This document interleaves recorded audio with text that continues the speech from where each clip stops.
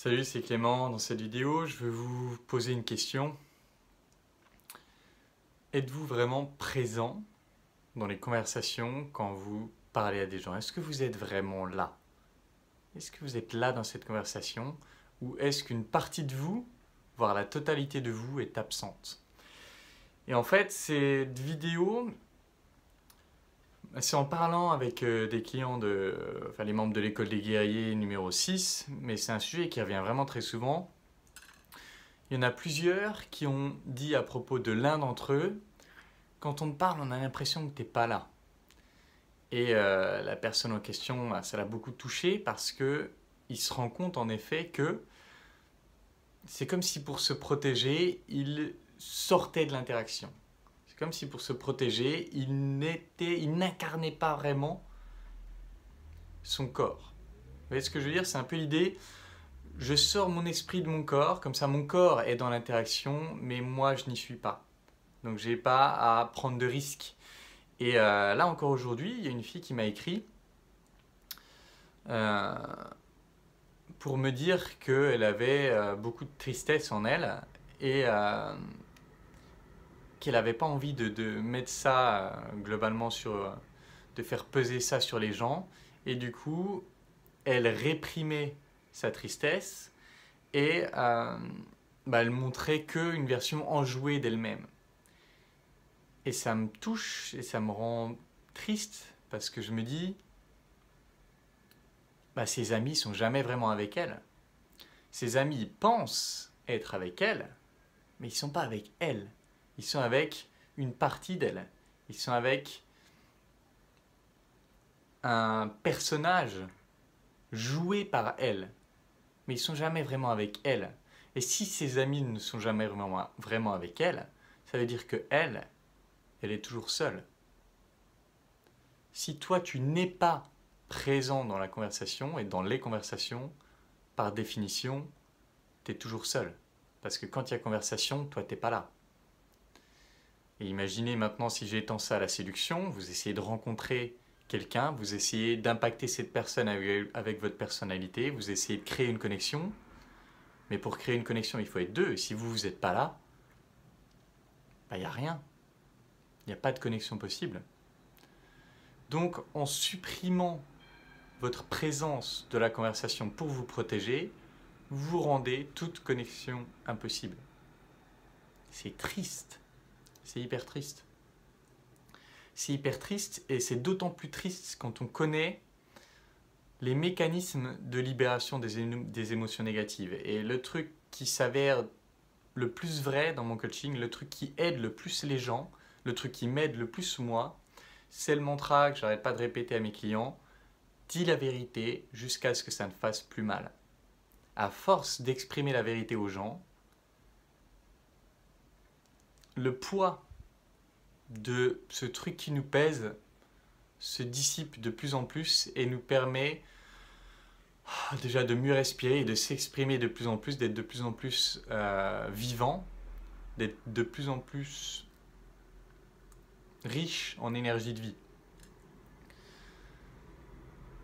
Donc en n'étant pas présent dans l'interaction, en n'étant pas vraiment là, ça vous empêche de vous libérer de toutes ces choses qui vous pèsent. Et maintenant, je voudrais juste parler brièvement du côté Ah ouais, mais je vais saouler tout le monde avec mes problèmes. Est-ce que c'est vrai? Il y a deux façons de raconter ses problèmes.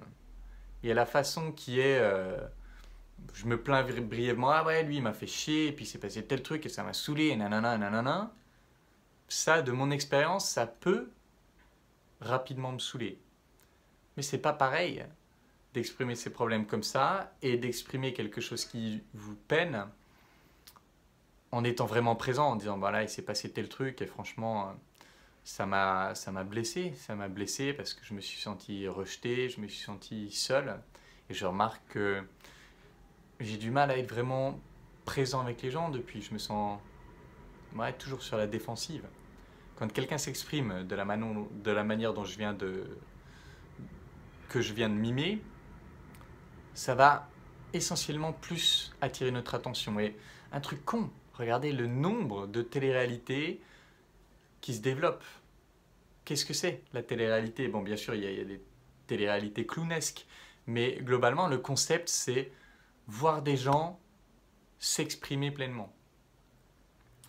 C'est voir des gens comme ils sont réellement, sont sans masque.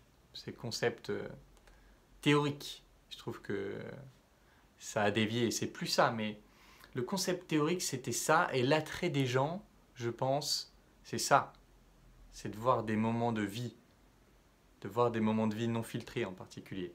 Et en tout cas, ce que j'observe dans mon expérience, mais aussi dans les retours d'expérience de mes clients, c'est que quand vous vous exprimez avec une telle authenticité, même si c'est sur quelque chose de négatif, ça fait du bien à la personne qui vous écoute.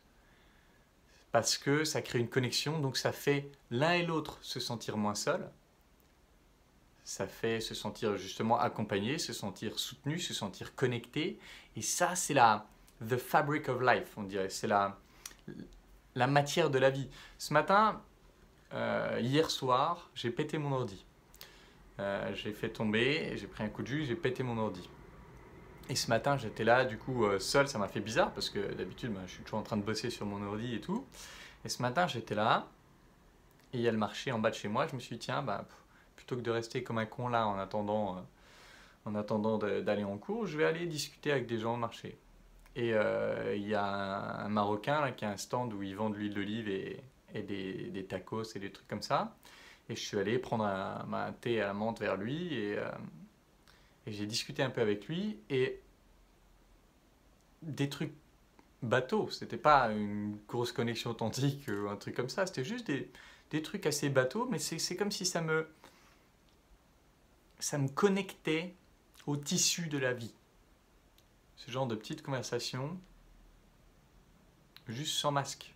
Juste, eh, voilà, ce matin, jeudi d'ailleurs, ce matin j'ai pété mon ordi, du coup, euh, je me sens un peu bizarre. Euh, je pense qu'un petit thé va me réconforter, euh, truc comme ça. Et voilà, c'est ça le tissu de la vie. Donc, êtes-vous vraiment présent dans les conversations? Et je sais que ça fait peur d'être présent dans les conversations, c'est pour ça qu'on ne l'est pas, c'est pour se protéger, mais je vous invite vraiment Bon, peut-être avec de la guidance. Du... Si vous pouvez en gros venir à un atelier de connexion authentique, même si je sais que j'ai eu la flemme d'en faire, mais si vous avez l'occasion de participer, venez, ça vous aidera à, poser le cadre nécessaire pour pouvoir vous exprimer de façon authentique, libre, en confiance. Et si vous pouvez faire l'école des guerriers, ben postulez, on fait beaucoup, beaucoup ça. Mais voilà, je vous invite juste à essayer de déjà d'observer quand vous êtes absent dans une conversation et de voir comment vous pouvez vous réintégrer dans la conversation. Juste, euh, tant que j'y suis, des petites techniques vite fait pour vous réintégrer dans la conversation. Premièrement, dire aux autres que vous étiez absent, que vous êtes absenté de la conversation. Exemple, ah désolé, j'étais plus trop dedans là, je sens que je me sens un peu mal à l'aise en ce moment et et du coup, je me suis un peu déconnecté de la, de la conversation. Rien que de dire ça, avec de l'expérience, vous allez sentir que ça vous ramène directement. Autre façon, c'est si vous vous rendez compte que vous êtes en train de parler d'un sujet alors qu'en fait ça ne vous intéresse pas, c'est de prendre le temps d'arrêter la conversation justement et de dire désolé j'ai un peu décroché parce qu'en fait je me rends compte que j'ai pas trop envie de parler de ça.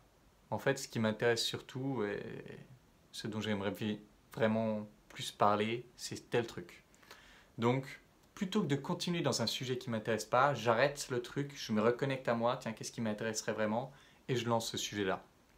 Ça, c'est un autre moyen que vous pouvez utiliser pour vous remettre dans la conversation. Je vous invite déjà à tester ces deux petites techniques en attendant d'avoir plus d'expérience et de maîtrise dans ce sujet-là, mais en tout cas, le monde n'a pas besoin de gens absents.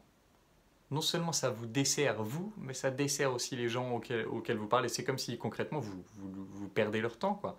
Euh, you're wasting their time. Je sais plus comment on dit ça en français, mais.